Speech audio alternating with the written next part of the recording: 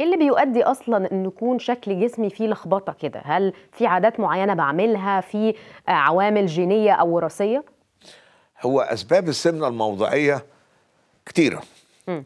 نمرة واحد الجينات واتعمل دراسات لقوا إن لما يكون أحد الوالدين عنده كرش مم. فرصة إن الأبناء مع وجود العادات السيئة في التغذية داخل هذا. المنزل مم.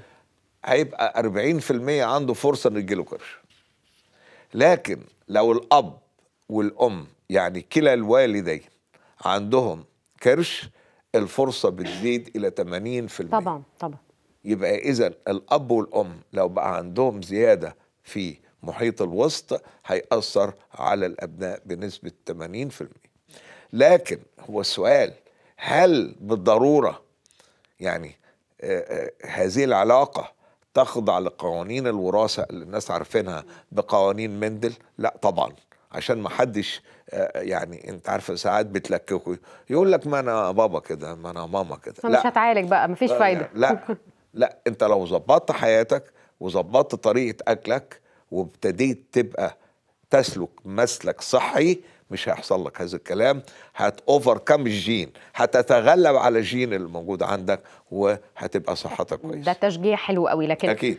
من ضمن العادات ال- اللي الناس بتتوارثها كده يقول إيه؟ إنه الرجالة مثلا مش هشرب مية وسط الأكل عشان دي بتعمل كرش. الكلام ده مظبوط؟ لا مش مظبوط. برضك هنقول يعني قلة شرب المية دي إحدى أسباب سمنة البطن إن هو ما بيشربش مية. لأن أنت لازم تشرب ميه عشان تحرق مش هتشرب ميه مش هتحرق مم.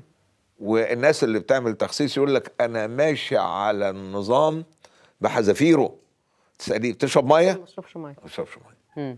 بردك في آه، يعني اعتقاد بردك سيء جدا أن الإخراج انتظام عملية الإخراج إن الشخص يخش ال toilet كل يوم الصبح دي عملية مهمة جدا في كل مراكز التخسيس بره اللي ما بيعملش toilet الصبح لازم يعملوا له حقن شرجيه لأن لازم تتخلص من بواقي الطعام لأن لو ما تخلصتش منها السموم بتنتشر داخل الجسم وتمنع نزول الوزن.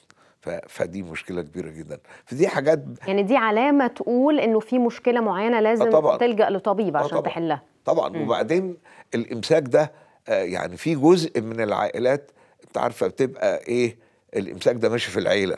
تلاقي الأم وبناتها تلاقي الأب وولاده تلاقي عندهم مشكلة إمساك. ال- ال- الثقافة المصرية يقول لك أنا مش هاخد ملين ما أنا هتعود عليه.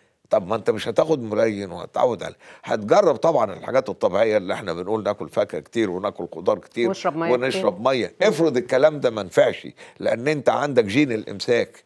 يعني حركة الأمعاء غير نشيطة. يبقى لازم هتاخد ملينات وفي ملينات طبيعية كتيرة اللي هو ورق السلاميكا مثلا آه، آه، الشاي الرويال أو شاي الرجيم. دي حاجات ما السلاميكا دي موجودة عند بس العطار يعني بعض الناس كانت بتقول إنه ال ال الشاي اللي بيبقى معمول علشان ال الرجيم ده ليه آثار سلبية فبلاش نشربه. يا فندم أنا مش بقول للواحد اشربه وأنت سليم. أنت عندك مشكلة في الإمساك. مم. عندك إمساك مزمن.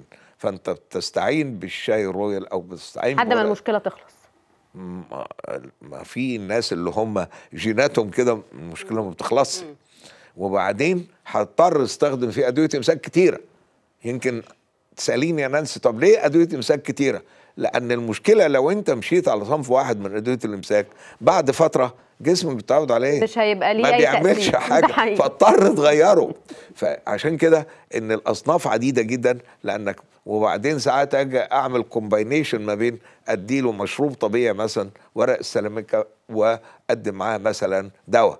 يعني فاهمة؟ بتعملي كومباينيشن لما توصلي لمرحلة تبقى العملية صعبة جدا إن الإمساك. لكن الإمساك بيؤثر على عملية التخسيس. طيب. في أنواع معينة من الأكل أو عادات غذائية غلط بنعملها بتؤدي لسمنة موضعيه أكيد أكيد إيه؟ أكيد آه، بس قبل ما نروح للعادات الغذائية آه، ساعات بيبقى في سبب مرضي عند الشخص يعني عنده مشكلة مثلا في الغدة الدرقية مم. عنده مشكلة في الغدة القذرية الكلام ده كله لازم طبيب التغذية بتاعه من يحدد. زيارة يبقى عارف وضع ال client بتاعه وضع المريض بتاعه ده إيه هل عنده مشكلة في الغدد الصماء سواء غدة درقية أو غدة كظرية أو أي غدة تانية عاملة له مشكلة وهي اللي مسببها لازم تتعالج. لأن مهما عملتي مش هت مش هتصلحي حاجة إلا تصلحتي مشكلة الغدة. آه لكن بنقول أن ال lifestyle نظام حياة الشخص له دور كبير جدا جدا في السمنة الموضعية. واحد التغذية. هتكلم عن الطعام وممكن نبقى نتكلم مرة بالتفصيل عن الكلام ده. لكن بقول الطعام كمواعيد لازم تكون مواعيد منتظمة ككمية. آه نظام الطبق الهرمي ده إن أنا طبق آه تدخلي اوبن بوفيه وتفرجي المنظر يعني طبق ما شاء الله. ما تاخد شوية صغيرين ولو عوزت آه زود. زود يعني. كميات. النوعية نوعية الأكل. ممكن أنا آكل مكرونة مسلوقة ممكن أحط عليها شوية صوص أحمر كده صلصة آه، بس بدون سمنة ولا. زيت. بدون دهون. ها؟ آه، ممكن. آه، وممكن آكل بقى أروح to the other way مكرونة بالبشاميل مكرونة بال white sauce. إحنا بنتفنن إننا آه، نعمل الأكل آه بالشكل ده. المكرونة بال white sauce طبعا. هنا كل ما بتتفنني يا نانسي كل ما بتزودي سعرات الوجبة بتاعك طبعا. كل ما زادت السعرات عن احتياجك ها؟ آه الجسم بيحول الزياده إلى دهون. آه آه يبقى قلت الكميات قلت النوعيات قلت والمواعيد. والمواعيد قلت طريقة الطهي. طريقة الطهي دي مشكلة كبيرة جدا. آه أنا باكل مشوي لكن آه يعني بخلي قطعة اللحمة أو الفراخ مباشرة ملامسه للنار فبتتحرق. وتبص تلاقي الناس بتستمتع وخاصة الشباب يقول لك آه الحتة المحروقة دي جميلة جدا وبتاع. طبعا ده سيء جدا لأن اللحمة المحروقة أو الفراخ المحروقة أو الرز اللي في قعر الحلة المحروق والأم تديه لأن ابنها بيحب آه، الرز المحروق ده حاجة سيئة جدا لأنها تكرارها بيؤدي إلى مشاكل ممكن تؤدي إلى الأمراض الخبيثة. فعشان كده بنقول أن الطعام هو ممكن يكون نعمة وممكن يكون نقمة.